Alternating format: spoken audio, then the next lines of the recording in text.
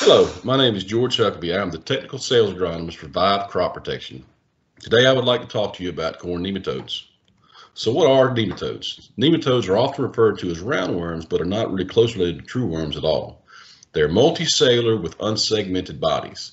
Some of the economic species, they actually feed through a dagger-like appendage called a stylet and feed on the root systems of plants.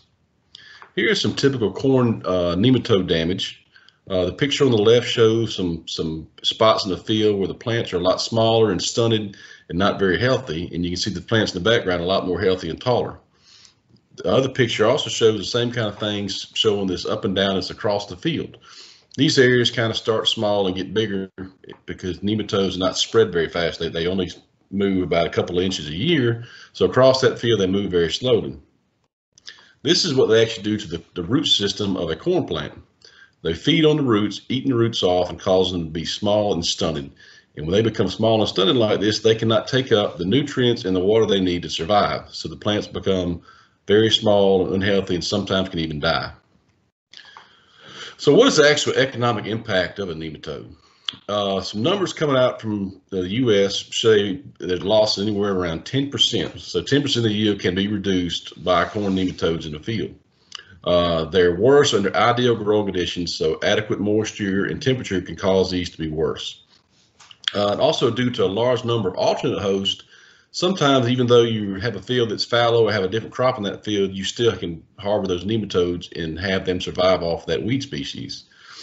Uh, nematode damage is often misdiagnosed and the true impacts are kind of hard to quantify unless you take a, a nematode sample. So here are three species of uh, nematodes that can, can cause some potential damage on corn. First one is a needle nematode. It's got a very high damage potential. And the reason they're called needle nematodes is because they're actually big. They, they can actually be up to a quarter inch in size, and they but they're transparent to where you really can't see them. Uh, they're also more severe during low temps and high moisture in the early spring. Another one is the sting nematode. It too has very high damage potential. They are found exclusively on uh, sandy ground, greater 80% sand in the ground, and they're more prevalent in irrigated fields with a constant supply of moisture. Uh, the last one to talk about is the dagger nematode. It's got a moderate damage potential, and again, it's, it's more of a problem on sandy ground. Here are some typical thresholds for nematodes. So when you send a sample off to the lab, this is what you'll get back, and they're always reported by volumetric uh, way, so per 100 cc's of soil. So that means in 100 cc's of soil, if you have more than 30 to 40 nematodes in that sample, that's going to be your trigger point. So once you get above this threshold, they'll uh, they'll start calling for different kind of uh, actions, you know, chemical or, or some kind of crop rotation or something.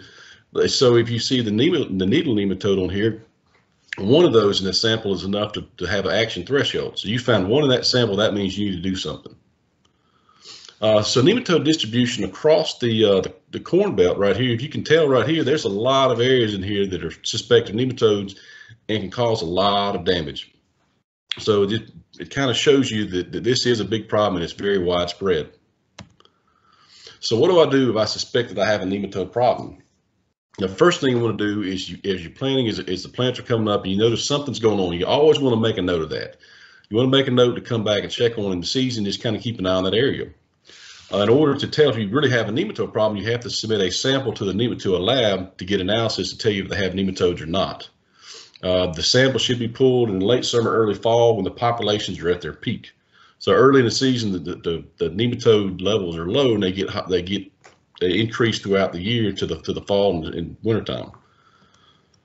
So how do you actually check for nematode damage? First thing you do is you look in the field and you want to see a place that, that something just doesn't look right. You kind of look at these oblong, oblong shapes, kind of elliptical shapes out there, and you want to go out there. And I always pull a good plant and a bad plant to compare the two of them because you want to know what what ideal and what's looking good. You want to know what's bad, and you want to pull them up. So what you do is you get a shovel. It'll actually dig the root system up. You don't just want to pull the plant up because if you pull the plant up, you can rip off some of the roots. So you want to use a shovel. You want to dig them up. You want to basically separate, get the oil off, and be as as, as fragile as possible to get everything out so you can see the true damage of it. Then once you compare the root systems, if, if one root system looks really good like this on the right, and the other one's very, very small, and then there's probably a nematode problem in that field.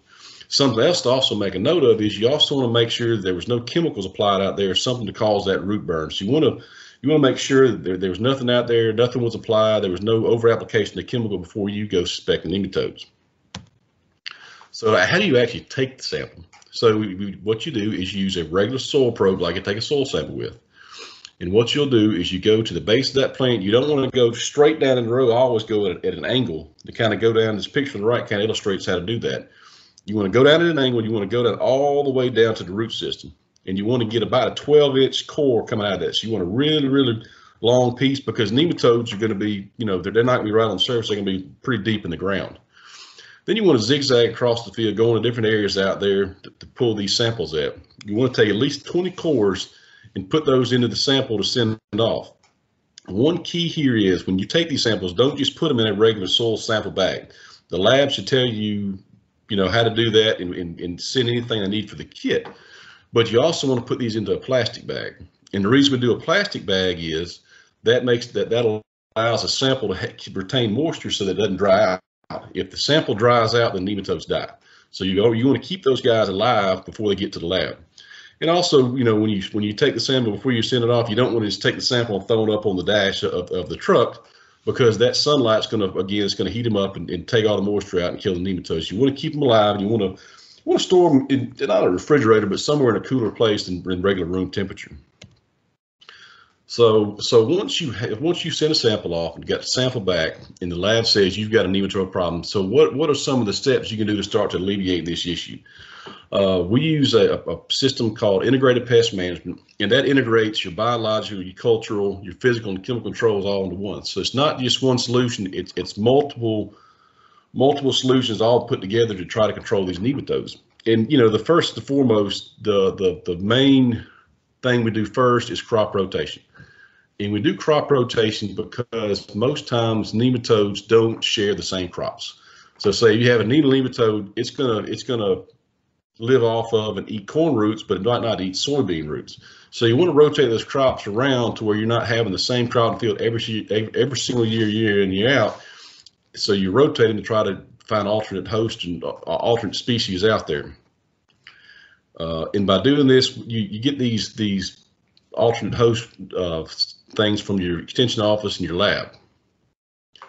So once we do that, the next thing is, is we look at resistant varieties most plant breeders, as they're breeding new varieties right now, they're actually looking for resistance. And that's internal genetic resistance that the plant has against those nematodes. Uh, some of the newer varieties, they've, they've really started to screen more of this and trying to find ways to have better genetic testing where they can find out, you know, a lot of these these resistant mechanisms before they ever even have the, the, the seed released or look at it, but they can do genetic testing for it. But a lot of this is very dependent on your population, your species. So it might control needle nematode, but it's not going to control dagger nematode. So you really also got to make note which ones they're resistant to. In our last uh, our last cog in the wheel that this for our nematode control is actual chemical. And this is broken down into two different categories. You have seed treatments and you have in-furrow nematicides. Seed treatments have been around for a long, long time and, and they, they, they do very well. Um, they're very easy for the grower to use because they don't they don't need any kind of specialized equipment. All you have to do is put the seed in there. It's already treated and you can plant. This allows the grower to plant very fast and quickly across the field. One drawback to uh, nematode seed treatments are is if the pressure gets high, they can be overwhelmed, and sometimes under higher pressure levels, they can have a failure out there. So the last one we'll talk about is in-furrow nematicide. These have been around for many years and some of the older products were, were highly effective, but they were also toxic, and, and, they were they were pretty nasty products out there. And over the years, these have been phased out, and some newer products are are safe for the environment and for the users. One such product is called Averland FC by Vive Crop Protection. Averland FC, the active ingredient is abamectin. It's actually a product that's fermented from the Streptomyces avermitilis and the way this this product actually works on nematodes is if once a nematode ingests the product, it causes paralysis nematode, the nematode dies. It has a favorable toxicological profile and with proper PPE can be safe to workers. Even though abamectin is sold under many trade names, Vive's Averland is very different.